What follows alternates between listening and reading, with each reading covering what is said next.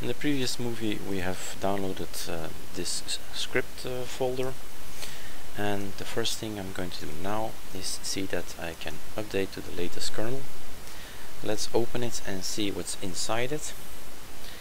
What you need to know is that these lines are coming from the internet and time passes as you know and what happens at some point in time we'll be having 4.8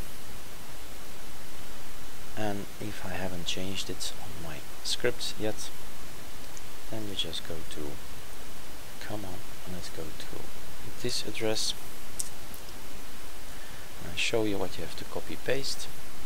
To have your 4.8, 4.9, 5.0 etc so at this time there is a 4.8 release candidate so it's not yet stable so what you do is in for an x64 so uh, 64 bits you take this one right mouse click copy link location let's do it and then copy paste it over here.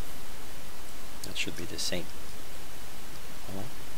And this one copy link location copy paste it over here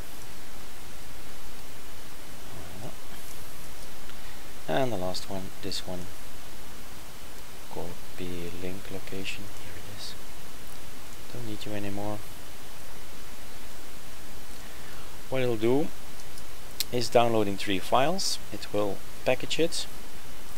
All the ones named Linux will be packaged and in the end also delete it and then you get a message that you can uh, reboot actually. Uh, actually the time after installation of uh, the kernels you can reboot and hope everything goes well. That's it for now.